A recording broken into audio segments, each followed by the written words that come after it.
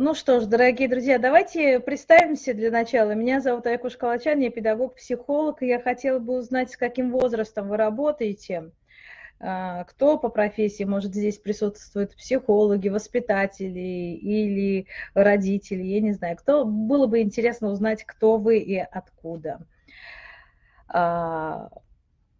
А, для чего вообще-то нужна диагностика когнитивистики, когнитивных способностей и, и психоэмоциональной? А, во-первых, мы, поскольку работаем с детьми дошкольного возраста, очень важно подготовить детей к школе. Поэтому мы смотрим, выявляем то, что у них в дефиците, то, что еще не развилось, и подбираем инструменты для развития именно этих направлений. И тогда мы помогаем ребенку лучше подготовиться к школе и к жизни. Э, каким образом? Ну, если у них э, из когнитивных навыков э, какое-то отсутствует, то мы даем упражнения, чтобы они развивались. Тут можно включить дальше уже и образовательную кинезиологию, другие упражнения, которые помогут в этом. Я вижу педагог-психолог дошкольного образования, педагог-психолог школа, учитель-дефектолог – здорово, здорово. Приветствую вас, дорогие друзья. Так, а, основной контингент – дети с ОВЗ, педагог-психолог, воспитатель. Хорошо. Ну что ж, а, как изменяется жизнь школьника? Почему вот именно важно вот это понимать, э, к чему готовиться? А, я понимаю, вы все это прекрасно знаете, но мы просто входим в тему, да, поэтому вот один-два слайда, вот это входящая информация. А, появляются обязательства. До этого ребенок э, порхал, летал, бегал, прыгал, что хотел делать, а тут надо сохранять дисциплину. 40 минут сидеть, извините мне, на попе ровно – да, на уроке не мешать, поднимать руку э, как надо. И вот эта дисциплина, конечно, резкое изменение. Э, более строгое подчинение правилам. Они в садике уже в игровой форме учатся подчиняться правилам, а в школе это еще более строго и более конкретные и требования побольше относительно правил увеличивается объем разнообразной информации. Они проходят разные предметы, и вот успеть анализировать, усвоить и запомнить весь этот материал требует определенной подготовленности. И, конечно, требования к общей организованности. Как ребенок организовывает свой рабочий стол, на парту э, ставит книги, э, собирает вещи, пенал и так далее. Это общая организованность – которое и в садике уже воспитывается. Мы помогаем в этом детям. И в школе уже ему не будут помогать, он должен быть уже готовый к этому. Ну что ж, для кого этот вебинар? Для воспитателей – для учителей начальных классов и для психологов. Психологи, конечно, прекрасно знают все эти методики, которые я сейчас буду рассказывать, но, возможно, вы вспомните о них, потому что э, тестов и диагностик, инструментов очень много. И если я чем-то помогу вам сказать, ой, из закромов можно достать вот этот тест и его опробировать, провести с детьми, то будет прекрасно. А, ну что ж, виды диагностики какие? Когнитивные, это касается памяти, внимания, воображения, восприятия, концентрации, умения расслабляться. А, это важные вещи, которые помогают осваивать. А психоэмоциональные необходимы для того, чтобы дети коммуницировали хорошо и качественно. Это эмоционально-аффективная сфера, волевые качества, личность, а, уровень стресса, Э, самооценка и агрессия. Агрессия очень важная вещь для ребенка, для любого человека, потому что он проявляет а, агрессию, когда ему некомфортно. И таким образом показывает, что его э, личные границы немножко подвергаются внешнему воздействию. И здесь важно, насколько ребенок адекватно это все делает. Он слишком агрессивный или частичный. А, поэтому агрессия тоже важна, и важно, чтобы его было не очень много. И так, а, оценивается 10 баллов, это очень высокий уровень, 8-9 высокий, 6, 4-7 средний, 2-3 балла низкий, 0-1 очень низкий. Обычно оцениваются таким образом когнитивные, э, психоэмоциональные тесты по баллам не э, классифицируются, там своя специфика. И когда мы говорим о памяти мышления, то здесь какие критерии – скорость выполнения задания, которое ребенок делает, а, правильность, насколько правильно он делает, и чистота, аккуратность э, по марке, не по марке и так далее. Итак, перешли к тестам. Только на памяти, вот видим, сколько разных тестов. Вы это, когда скачаете презентацию, вы сможете более подробно почитать. О некоторых тестах я сейчас расскажу более подробно, а вот здесь просто списки. Итак, повтори рисунок.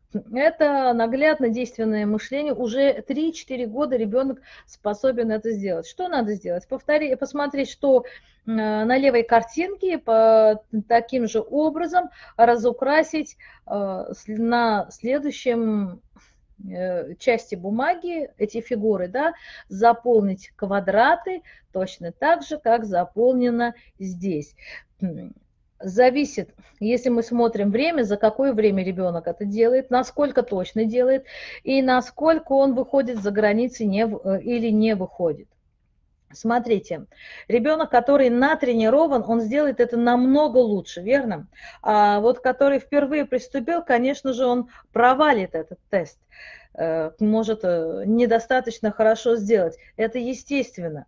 Э, то есть мы узнаем, что ребенку надо в этой области заниматься. И очень может быть, что через месяц-два занятий он его в первый раз, скажем, сделал на 3-4 балла, а дальше сделает на 9 и 10.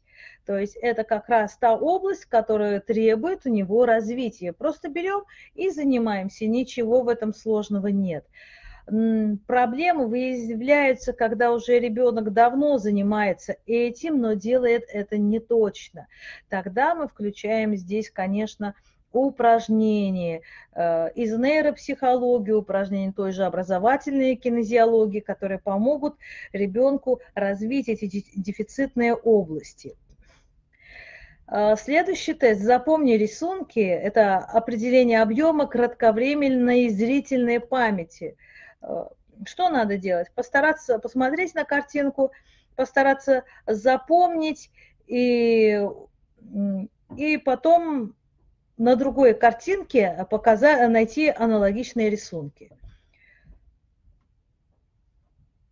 Какие там были, какие там не были, могут быть изменения какие-то в рисунках. Нелепицы – самое интересное задание, которое дети с удовольствием делают. Почему? А, потому что здесь есть сюжетность.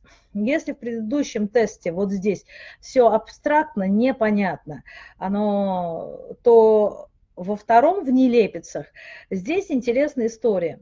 Очень важно, как мы готовим ребенка к тесту. Мы начинаем э, спокойно э, разговаривать с ребенком.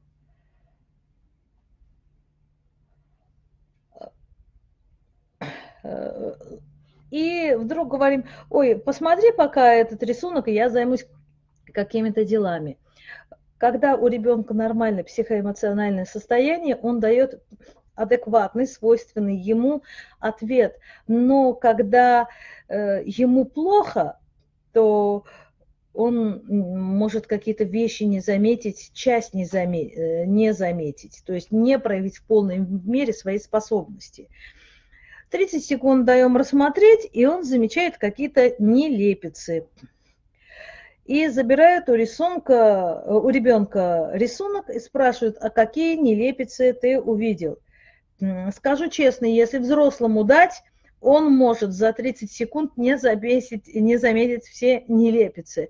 Но вот так мы требуем от ребенка. А ребенок может заметить, потому что у него психология немножко другая, отличается от нас.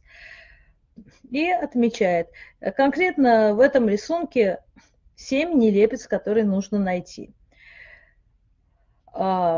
смотрите, вот тесты, которые здесь представлены, вы можете их, конечно, в интернете забить название, оценка элементарных образных представлений о мире, нелепицы, и найти.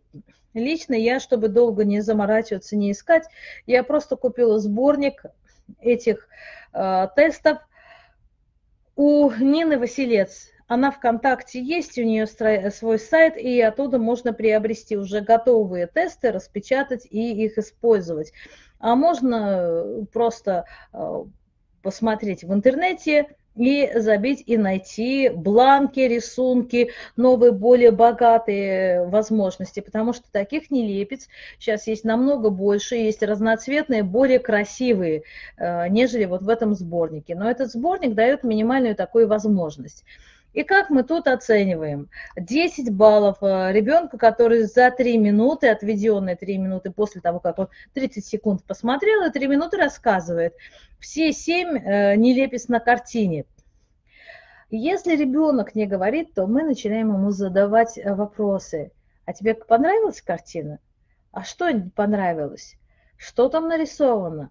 А еще что? Может быть, ты вспомнишь, и он начинает вспоминать, припоминать. Здесь и э, память проявляется, и это вот у, внимание, которое он увидел, какие-то нелепицы. И можно вот по этим вопросам пойтись по требованию, по надобности уже конкретно в вашем случае их использовать. Э, коллеги, а скажите, вот э, эти тесты, которые вот до сих пор я показала, у вас есть знакомые, как вы используете в своей работе? Можете поделиться своим опытом, э, как у вас проходит, насколько они полезны, не полезны, вы считаете это нужно или заменяете какими-то другими? Давайте проведем такой диалог, потому что интересно. Один человек я на своем опыте проверяла, а другие люди со своими ребятами проверяли, и есть другой опыт. Следующая группа – это мышление. Это название тестов, и дальше сейчас посмотрим. А, добрый день из Уфы, отлично. А, вот рисунок, кому чего не достает. Вниз, внизу э, разные элементы, и надо их взять, поставить в соответствующее место. Да? Палочки, зонтик, письмо, расческа. И каждому это обычно разрезается или есть карточки, можно взять и карточку поставить в нужное место, кому что соответствует. Дети обычно с этой диагностикой, с этим тестом легко справляются в 4 годика. И смотрите, 3-4 годика – это э, очень э, большая разница. Ребенок 3 года и ребенок 3 года и 11 месяцев, да, или там 4,5 года. Это огромный срок для развития ребенка, потому что рост психики ребенка очень динамичен в этот э, период. Ой, у меня язык заплетается. Так, и поэтому ставим. Времена года. По рисунку определить какое-то время года и почему это такое время года. По каким признакам ребенок узнает. Очень важно вот эти уточняющие вопросы задавать, чтобы он не на обум говорил, а вот это было осознанно. А как ты определил? Вот здесь ли это, а почему ли это? Потому что жарко, потому что солнце, э, мальчик на пляже могут быть цветные рисунки, где намного больше элементов, и тогда мы э, помогаем речевому развитию, еще и проверяем его э, словарный запас, насколько э, свободно ребенок общается. То есть эти рисунки примерные. Так, пользуемся активно в работе, весьма эффективно, детям нравится. Вот, отлично. И смотрите, эти самые тесты становятся еще и учебным материалом. Есть задача, когда вы делаете чисто тесты и э, диагностику, чтобы или внести в журналы, или просто потом посмотреть динамику, как развивался ребенок. Может, вы собираетесь провести какую-то экспериментальную методику использовать, вот посмотреть та же самая кинезиология, работает или не работает. Вы делаете упражнение, спустя какое-то время даете еще разочек пройти этот тест. Э, вот чисто экспериментально, чтобы понять, этот инструмент помогает или нет, мы используем э, как диагностику. А есть вариант, когда диагностический материал мы берем и используем как учебный материал. То есть а, на этапе уже после того, как оценили, мы еще и подсказываем, направляем, даем наводящие вопросы, чтобы ребенку было а, интересно, не было ощущения, он не должен ощущать, что его тестируют. Маленький ребенок должен понимать, что с ним интересно разговаривают, спрашивают его мнение, но не тестируют, потому что это ощущение, что тебя тестируют, сразу закрывает ребенка, и он будет показывать плохие результаты, и немножко эффективные. Ну, представьте, что без вашего спроса вас кто-то тестирует, да, это как-то унизительно. Поэтому а, вся диагностика с детьми, вот здесь этот э, элемент очень важен, чтобы мы делали его мягко, ненавязчиво. Здесь определяем лишний предмет и тоже задаем вопросы, а почему? Когда рисунки цветные, иногда ребенок выделяет лишний предмет по цвету. А мы говорим, нет, неправильно, потому что здесь посуда, а вот это очки. А вот он нашел свой элемент. А, поэтому обязательно, когда он говорит, вот где, какой лишний элемент, он должен это объяснить бывают разные подходы, очень разные подходы, поэтому мы смотрим, э, задаем эти вопросы. Идем дальше. Вырежи фигуры. Мы можем нарисовать любую фигуру на бумаге, хоть от руки, и дать ребенку порезать. Обращаем внимание, насколько точно он уже это делает, правильно. Вначале самое простое. Берем бумагу и по прямой линии прямо сделать. А потом квадрате, углы что мы смотрим, насколько ребенок правильно а, осознает вот эти действия и насколько координирует движение руки. И когда мы развиваем мышечную связь, то у нас все прекрасно и получается. Так. Следующий тест. А вот и я появилась. Надеюсь, меня видно? Вот, нелепица очень интересная. Чаще всего дети ОВЗ пока что без диагноза а, эмоционально не реагируют. И мне смешно, да, дети с ОВЗ могут не реагировать. Очень мало несоответствий находят. Вот видите, мы уже здесь замечаем, это патология или нет. И, и иногда, когда мы видим э, низкую оценку, можно эту диагностику спустя пару недель еще раз протестировать, Возможно, это временное эмоциональное состояние, возможно, это действительно диагностирует какую-то проблему ребенка. Поэтому всегда вот э, при низких э, баллах попробуйте еще раз повторить. Вот, были случаи, когда вообще ни одного соответствует, да. Да, и смотрим. А вот пройди через лабиринты простое задание, которое дети любят, но уже тут немножко усложненное. Кстати, тут надо четко показать, где начало и где конец. Я сама искала на этом рисунке э, начало на ушке да, э, исполнителя. Тут то ли кот, играющий на виолончели, и из головки виолончели выход.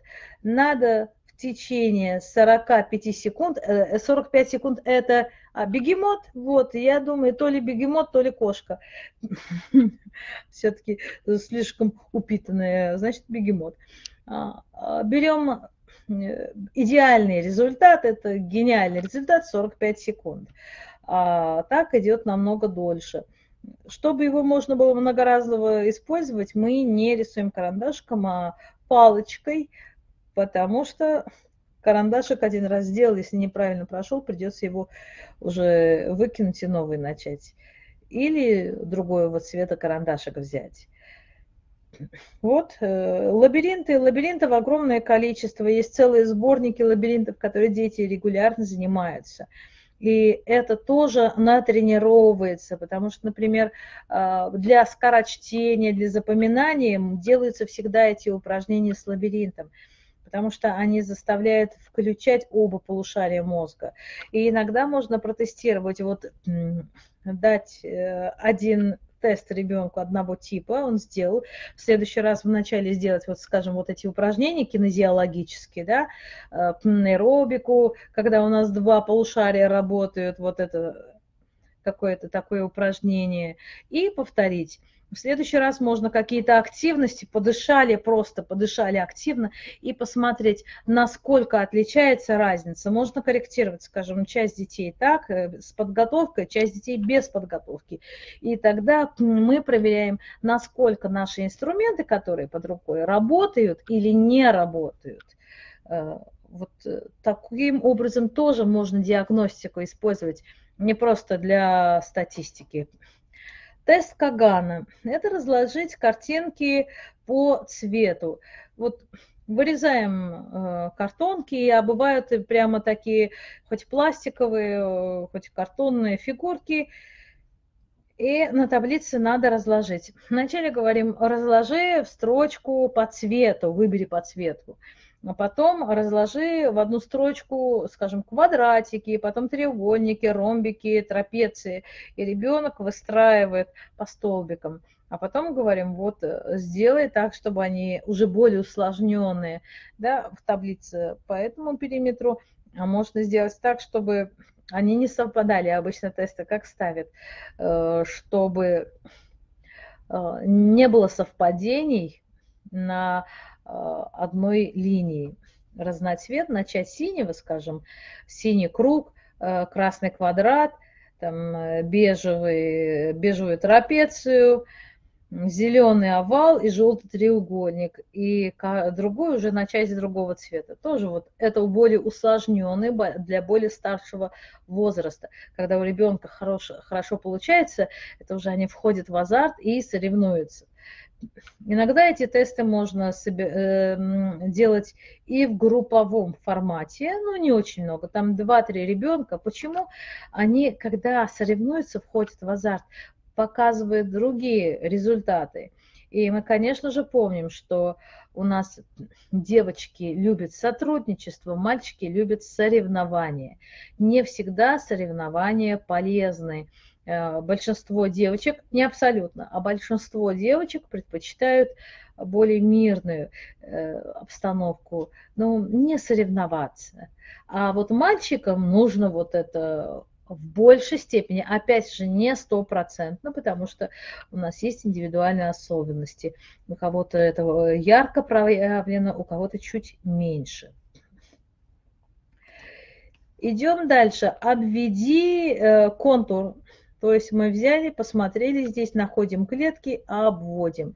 Это помогает э, проверить э, наглядно действенное мышление э, в 5-7 лет. Уже постепенно в этом возрасте можно еще и продиагностировать такой типа диктанта, когда вы даете точку и говорите одну клетку влево, два вниз, одну клетку вправо и так далее. И они начинают это рисовать и тогда определяются эти тесты. Здесь я не написала полное, как это диагностируется, какие подсчеты у вас наверняка есть, плюс они в свободном доступе, в интернете их полно. Поэтому я не стала загружать э, эту презентацию такой информации, как их высчитывать, как их рассчитывать. А, перцептивное моделирование. Здесь нужно наверху а, рисунок, из каких частей он состоит, и внизу элементы. Нужно подобрать элемент, который подходит. Сложность в том, что можно их заранее какие-то нарезанные сделать, а можно просто рисунок. А, вопрос в том, что деталь может быть перевернута, его нужно еще и подумать мысленно, перевернуть и поставить. Легче это делается, когда у нас э, картонки или пластиковое что-то руками, бумага, которую можно взять и переставлять. Сложнее, когда образно, визуально так э, нужно посмотреть и представить, что вот это переворачивается. Оно не так стоит, в другом положении. Э, и это тоже помогает. Следующая группа – это внимание и воображение – найди и вычеркни. Мы даем ребенку вот здесь, смотри, знакомые фигурки, а давай по очереди пойдешь и будешь вычеркивать, зачеркивать, перечеркивать звездочки. И он в каждой строчке, проходя по линиям, находит звездочку и перечеркивает. Мы смотрим и внимание, а поскольку строчек много, мы еще смотрим продуктивность, насколько он устойчив, насколько долго удерживает внимание. Иногда бывает, что дети в самом начале хорошо делают, потом э, делают ошибки. Бывает наоборот, э, что вначале делает плохо, а потом включается э, и начинает более активно делать. Бывает, что с середины забывает, а какая фигура, и возвращается, чтобы посмотреть, какую фигуру надо сделать. Э, надо было перечеркнуть. О чем это? Когда ребенок с самого начала хорошо делает, а потом ошибается, значит, у него маленький промежуток концентрации внимания. Он недолго удерживает внимание. И может у него, когда мы смотрим, как он карандашиком носит, уже устает, начинает сипеть вот так, а может не надо, а может хватит, я больше не хочу. Бывают и такие. Мы можем чуть-чуть подбодрить, чтобы посмотреть, насколько хорошо он все-таки э, сделает. И а когда в начале он ошибается, а к концу уже хорошо, это значит психотип такой, что он долго разогревается, ему нужно, нужен подготовительный этап, и дальше он э, сделает как надо. Э, он разогревается медленно, да, входит в систему, в работу. А, поставь знаки, значки. Мы смотрим, как переключается ребенок и распределяет свое внимание. А, ну, здесь формула, как высчитывается все это. Э, каким образом нужно вот галочку поставить в квадратике, э, черточку в треугольник, плюсик в это, в кружочек и точечку ромбик. И он берет ручку и начинает все это делать. Когда он хорошо удерживает свое внимание, он быстро запоминает, где что делать. Бывает, что он возвращается часто, чтобы посмотреть, где что поставить. Он может перепутать, э, не в ту фигуру, не тот знак поставить. И даже не заметить, что он поставил, идти дальше, а потом или обнаруживает, или, или не обнаруживает. То есть этот тест тоже довольно серьезный. И уч... а если мы его берем как упражнение, то видите, оно учит в памяти, памяти, чтобы ребенок запоминал эти фигуры, э, концентрации, включенности на более долгий срок. Очень интересно экспериментировать, знаете как, с музыкой и без музыки. Вот э, без музыки делать, потом включаем музыку. Музыку, может быть, активную, кому-то в, а в следующий раз включить звуки природы. И понаблюдайте, как это делает ребенок. Иногда даже с детьми с ОВЗ включаемость музыки, когда включаем музыку, то она помогает, она раскрывает какие-то внутренние резервы, настраивает, настраивает мозг таким образом, что они начинают лучше делать. Интересно, у вас был опыт вот, экспериментирования с музыком и, и без музыки, вот когнитивных этих тестов различных? Если есть, пожалуйста, напишите. А, переплетенные линии. Ну, это уже известно, а в 6-7 лет они, вот э, их немало, а довольно много. И здесь в данном случае сложность в том, что они одного цвета, не, раз, э, не разноцветные. И соединить эти линии, найти, где которая находится, не перейти на другую, тоже составляет определенную сложность, которую ребенок делает. Но за сколько? За одну-две минуты. Смотрите, если самые первые упражнения для маленьких э, возраста, там 30 секунд, 40 секунд, 1 минута, то постепенно а, длительность занятий увеличивается, заданий, выполнение заданий увеличивается. То есть мы постепенно расширяем а, когнитивные способности ребенка. Невербальная фантазия. Есть вербальная фантазия, есть невербальная. Ну, подготовим лист, цветные карандаши, э, не менее шести цветов, чтобы все там было. а, нужно придумать и нарисовать какую картину. Мы можем дать тему, можем вообще не давать. А, на, на это отводится 5 минут, чтобы он нарисовал. То же самое можно предложить с пластилином, а, какую-нибудь поделку. То есть у него фантазия какая-то есть, а потом уже анализируем. Он начинает рассказывать, что он сделал. Недавно смотрела, а, рисунок, значит, ребенок нарисовал рисунок, мы смотрим, что это такое, ужас какой. А, значит, в воде тонут, типа тонут, или нет, не в воде, вот три, мама, папа и ребенок, на шее что-то, вот такое висит, они на висельце висят. Такой страшный рисунок. Спрашиваешь э, ребенка, а что ты нарисовал? А это мы с мамой и папой в акваланге, в аквапарке с аквала, ну, с этой с трубочкой в воде плавали. То есть э, ребенок еще не точно отображает все элементы, он поставил, но наш мозг это почитал по-другому. Поэтому не все, что там нарисовано, есть то, что мы подразумеваем. Поэтому обязательно – вот этот разговор, спросить, а, что это сделать, а, что тут нарисовано, а кто есть, как есть, и вот все это. То же самое можно рассказать, попросить, а сочини сказку, какую-то историю. Если может ребенок сразу сочинить, а если сложно, можно использовать какие-нибудь карточки. Даешь карточку, а, там может быть пейзаж и животное какое-то может быть метафорическая карта, несколько героев, все. И дальше пусть ребенок рассказывает, то есть это как бы экспозиция, а дальше что с ним было, кто он такой, откуда. Если ребенок сам рассказывает прекрасно, вы можете задавать вопросы, а кто, откуда он пришел, а какие у него такие вещи. Конечно, в идеале, когда он самостоятельно все рассказывает, но иногда детям нужно вот этот стимул и вопросы. Вот смотрю, Ирина Безугла пишет, весь материал использую не только как диагностический, но и развивающий. Да, не стояла за, э, задача эффективного использования музыки, не стояла. А вы попробуйте, посмотрите, как будет, потому что музыка очень сильно влияет, это я почувствовала на себе. Э, для меня э, как-то очень сильно улучшает работу мозга, когда мне сложные задачи надо решать. Знаете, э, чье исполнение?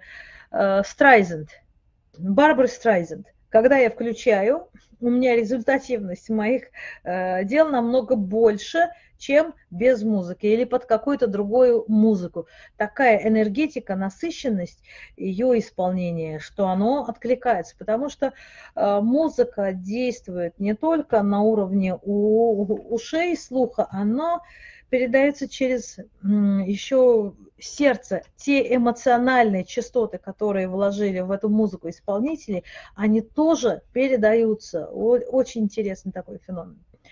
И переходим к диагностике эмоционально-аффективной сферы. Так, э, что такое аффективная сфера? Это то, что нами двигает. А презентации не дались для скачивания? Так, я сейчас дам для скачивания, друзья мои, если еще не сделала, разрешить скачивание. Все, можете скачивать. Э, итак, эмоционально-чувственное отношение к жизни и взаимодействие с миром, с собой и людьми. А, как это происходит? Ну, например, в состоянии опасности человек, э, есть три сценария действий, да, это бежать, замереть или нападать. Вот а что двигает человеком, что он выбирает одно или другое. Почему один выбирает одно, другой э, человек выбирает другой э, способ действия. Вот это и есть аффективная сфера, то, что мы делаем, не осознавая, почему и как, но мы так поступаем. Это бывает, вы говорите детям что-то общее, всем говорите, кто-то сильно обижается, а для кого-то особо ничего нет – или кто-то сильно обрадовался, а другому, ну, спокойно совершенно воспринимает. То есть вот эта разность, то, что есть внутри нас нечто, что реагирует. Это и есть эффективная сфера. Э, диагностика наличия страхов. Ну, тут э, важно создать нейтральные ситуации, задаем вопросы. Скажи, пожалуйста, ты боишься или не боишься? Говорит, когда остаешься один? Говорит, да, нет. Мы вначале можем, э, мы пишем да, нет, а потом спрашивают. Иногда, почему? И спрашиваем, почему? Потому что э, иногда ребенок на самом деле боится или не боится, а иногда он пытается дать нам то, что мы ожидаем от него, да, подстроиться под нас. Дети очень гибкие. Иногда есть дети, которые сразу подстраиваются. Э, ты остаешь, э, когда остаешься один, боишься? Говорит, нет, не боюсь. Говорит, нет, не боюсь. Вот так. А на самом деле и а, а что ты делаешь? И по поступкам, что он делает, вы видите, что он на самом деле боится. Не надо говорить, а ты понял, что ты боишься? Вот этого никоим образом не надо. Э, он пытается, когда он говорит, я не боюсь, он пытается преодолеть эти угрозы. Конечно, здесь мы подсчитываем, подсчитываем, насколько больше страхов, есть страхи, количество. Эти тесты, особенно психологические, хоть и когнитивные, они не стопроцентные, друзья мои, поэтому мы наблюдаем и высчитываем по нескольким параметрам. А, когда я беру один тест и использую его, в промежутке в работе вдруг проявляются еще такие какие-то элементы, что авторы, может быть, не сказали, не обязательно, чтобы они об этом писали. Вы сами чувствуете и замечаете какие-то э, возможности у теста еще более расширенные, потому что э, проявление личности не одностороннее, не, не имеет одной грани, оно многогранно, поэтому по-разному и проявляется. А, так. Здесь э, не проявилось. Сейчас идем дальше. Вот, сказка. Тест сказка от 3 до 5 лет. Что, в чем вопрос? Мы даем маленькую предысторию и задаем вопрос к нему. И дальше ребенок говорит, это спонтанная эмоциональная ситуация. Вот может быть здесь, например, такое страшное птенец, годовщина свадьбы, ягненок или похороны. Э, насчет похорон мы немножко осторожно смотрим. Э, может, трехлетним не надо задавать, но иногда и можно задавать, потому что проявляются какие-то интересные вещи. Особенно если в семье ребенка этого не было, а было где-то далеко. Э, смотрите, как получается. Слоненок, да, например, у одного слоненка был, э, у одного мальчика был слоненок, он очень неприятный, с хорошеньким хоботком. Однажды он вошел в комнату и увидел, что у слоненка что-то изменилось. Что изменилось у него и почему? И тут ребенок говорит, э, начинает фантазировать, а что может у слоненка измениться? Рука, нога, цвет, он стал лучше слушать, у него появились фантастические способности. А, это все нормальные ответы, это положительные ответы. Хуже, когда ребенок говорит, что а, так, поранился, и мальчик пришил, и помог, вылечил, это нормально. Но если сказал, что у него отпалилась ножка, хвост, хобот или что-то, это уже травматичная ситуация. А мальчик что сделал с этим? И когда мы попадаем в травматичную ситуацию, конечно, мы это э, запишем в нашей диагностике, мы можем спросить, а что мальчик может сделать, э, чтобы помочь слоненку? Почему этот вопрос задается? Во-первых, он трансформационный и помогает выйти ребенка из болевой ситуации, если диагностика проявила, зацепила какую-то боль. Вот этот следующий вопрос, а как может помочь мальчик? Если он говорит, что мальчик ничего не может сделать, спрашиваем, а кому может мальчик обратиться за помощью? Кто мальчику поможет? А, и вот проявляется след, последовательность действий, а, в котором мы выводим. То есть если ребенок вдруг попал в стрессовые воспоминания, в стрессовую ситуацию, мы там его в стрессе не должны оставить. Обязательно его надо выводить. Потому что, как вы видели, это тест для детей, а это не очень хорошо птенец. В гнездышке на дереве спали птички, папа, мама и маленький птенчик. Вдруг налетел сильный ветер. Ветка, на которой держалось гнездо, сломалась, и гнездышко упало вниз. Все оказываются на земле. Папа летит и садится на одну ветку, мама садится на другую. Что делать птенцу? И вот здесь смотрим, что делает птенчик. Он тоже полетел, то есть ребенок достаточно верит в свои силы, что он может пойти полететь куда-то сесть. Он скажет, а он сидит и плачет, то есть он чувствует себя покинутым, и не предполагает, что ему взрослые могут помочь. А, травматичная ли эта ситуация? Конечно же, травматичная. А, могут быть разные ответы. Может, а он спрячется под деревом, то есть если он спрячется под листиком, под кустиком, что получается? Он использует все подручные средства, чтобы выйти из ситуации. Это прекрасный результат, который показывает, что ребенок вполне жизнеспособен и он может проявиться.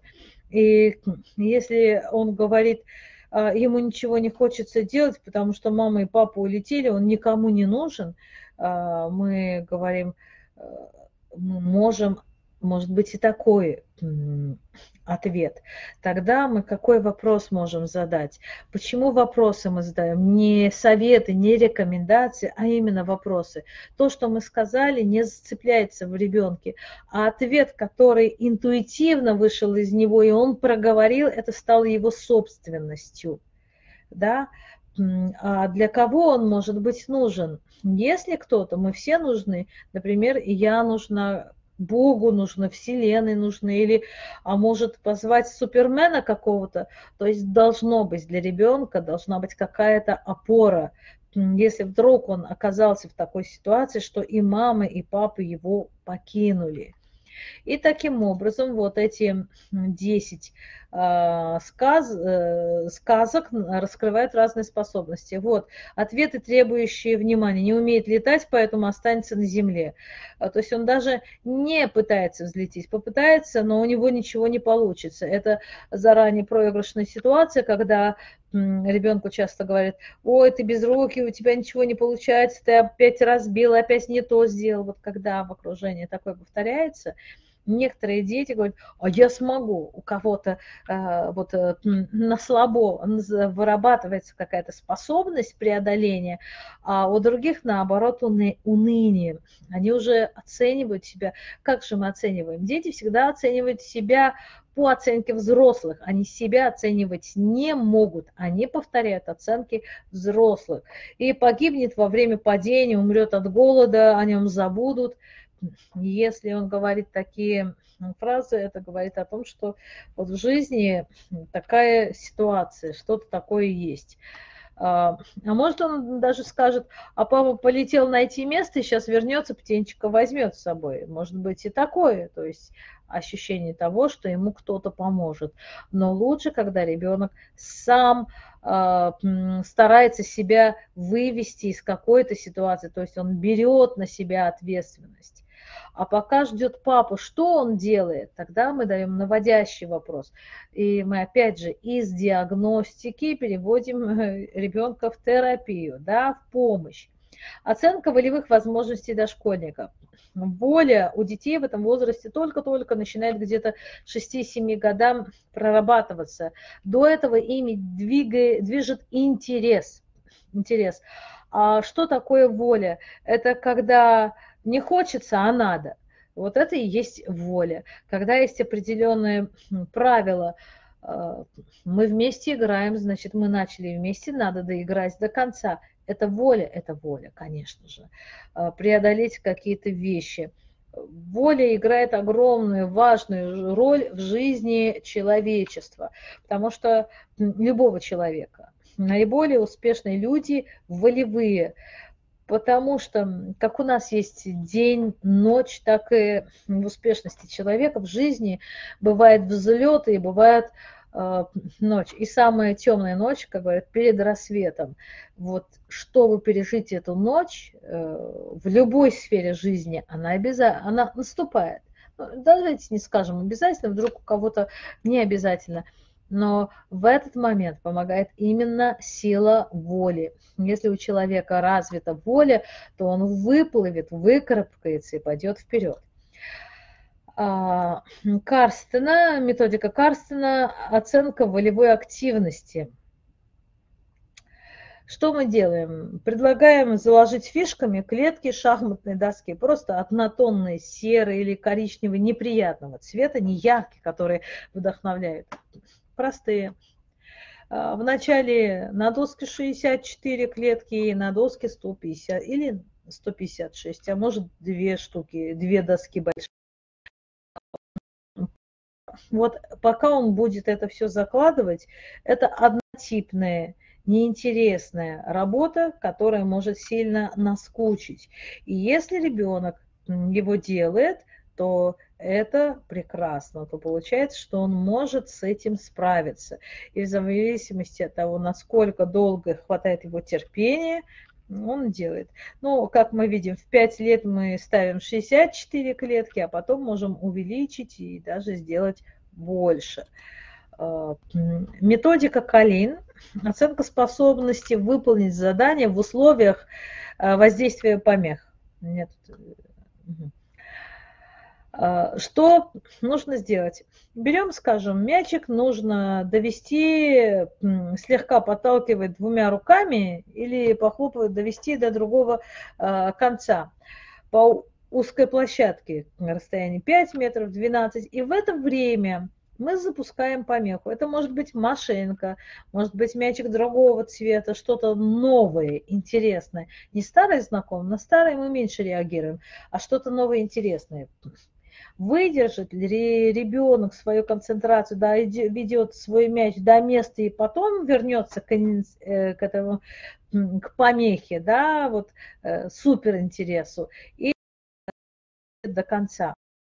И иногда мы это вначале проверяем, а потом тренируемся. А мы будем тренировать внимание, кто и волю, кто сможет до конца сделать, даже несмотря на то, что ему будут мешать.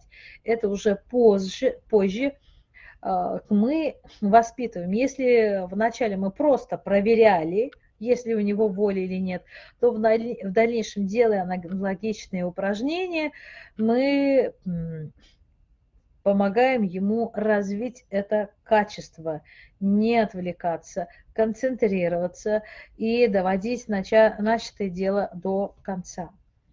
Э, какие есть еще тесты волевых качеств? Это методика Неверович, оценка влияния цели, мотива формирования волевого поведения. Э, вот э, разные методики. Давайте я не буду перечитывать, вы сами в презентации возьмете, подсчитаете, посмотрите. Как я опять же сказала, они в свободном доступе. Интересный тест, и она же игра, это да и нет, говорить нельзя, да, задаем вопросы. Ты хочешь идти в школу? А, а, ребенок, с одной стороны, мы проверяем фантазию, а, он говорит, он не должен сказать «нет, не хочу» или «да, хочу», иным образом найти другие слова, выражения, чтобы э, показать свое отношение к этому. И э, что здесь проявляется? С одной стороны, умение поддерживать правила, подчиняться правилу, запоминать его. Второе, развивает словарный запас. И таким образом мы можем постоянно играть. Вначале мы проверяем, тестируем, потом играем, спустя какое-то время делаем перерыв и делаем повторный тест и смотрим, насколько долго хватает ребенку внимания, чтобы он следовал правилам динамическая организация двигательного акта. Это графические пробы. Ну, цепочки, например, пишем э, башенку, э, башня, она вот четырехугольная, и э, крыша, башня, крыша. И ребенок вот эту цепочку рисует, не отрывая ручку. А, хорошо, если это, скажем, на математической тетради, э, не, хотя не обязательно. На математической тетради, когда мы делаем по клеткам ведет, это есть некая а, точность, мы проверяем, насколько точно он делает. А если мы даем на чистой бумаге, где нет никаких границ, никаких клеток, линий, а он делает, то мы наблюдаем Э, и другие. По этому тесту уже можно делать другие диагностики. Э, пессимистичность, э, насколько экономичен или не экономичен. Ну, психологи знают, они уже включат свои знания из разных других тестов и выведут свои диагностики, свои выводы по этому тесту. Асимметричное постукивание – это когда мы делаем серии постукивания хлопки или постукивание по телу. Раз, э, по ногам, раз, два, раз, два, несколько серий, постепенно усложняем. Э, мы один раз показали, а ребенку это надо э, одну серию, да, раз, два, скажем, по столу или по коленкам постучали, дальше он повторяет это 5-6 раз насколько он может этот ритм сохранить надолго, а, насколько темп сохраняется и замедляется или ускоряется. Э, постепенно мы эти хлопки, эти чередования, э, серию усложняем. Э, добавляем 4, 5, 6 ударов в различных ритмических рисунках. И эту серию ребенок повторяет какое-то время. Перебор пальцев – это поочередное прикосновение к большому пальцу. Вот можно сделать вот так, прямо поздоровались. Два, три, четыре. Можно усложнить как? Обнимаются пальчики по одному, да, вот э, таким образом. Вот. Видно, да, как я это делаю? Дальше вот большие. Уже усложнение для детей постарше, когда у них это все хорошо получается да, это еще и хороший разогрев а, головного полушария головного мозга для того, ну, нейробика, чтобы мозг заработал и лучше а, работал представление, например, ты командира, твои пальчики солдаты командуют раз, два, три, четыре, пять. Как только мы включаем этот эмоциональный элемент, дети намного более интересно все это делают.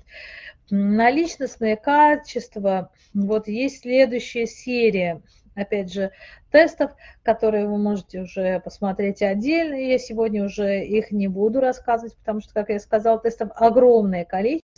Я рассказала о некоторых, и в слайде перечислила другие. Вы посмотрите в свободном доступе, их достаточно. Итак, что мы говорим? У детей нет ошибок, а есть зоны тут. Взялись наиболее узкие места и помочь им развиться, чтобы раскрылась полная личность ребенка во всей красе, чтобы он проявил себя. И и часто бывает, что у ребенка закрыта одна сфера, не очень развита одна, и раскрывается другая. Может, логика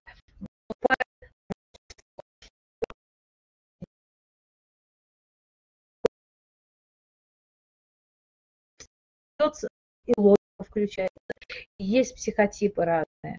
А, нет э, вот э, ошибок. Если мы будем так смотреть на детей, видя в них не то, что есть, да, да, то, что есть, мы понимаем, да, берем как данность. И наша задача в них видеть наибольшие их силы, то, что они сами еще не видят и не осознают. Вот это, пожалуй, самое важное, что мы можем сделать, увидеть перспективу. Как-то Мария Каллас, всемирно известная оперная певица, а, спросили, спросили, кто, что вы сказали она сказала, она говорила что-то схожее, я недословно сейчас скажу. Она увидела во мне то, во что я могу вырастить, и направляла меня к этому. наша задача увидеть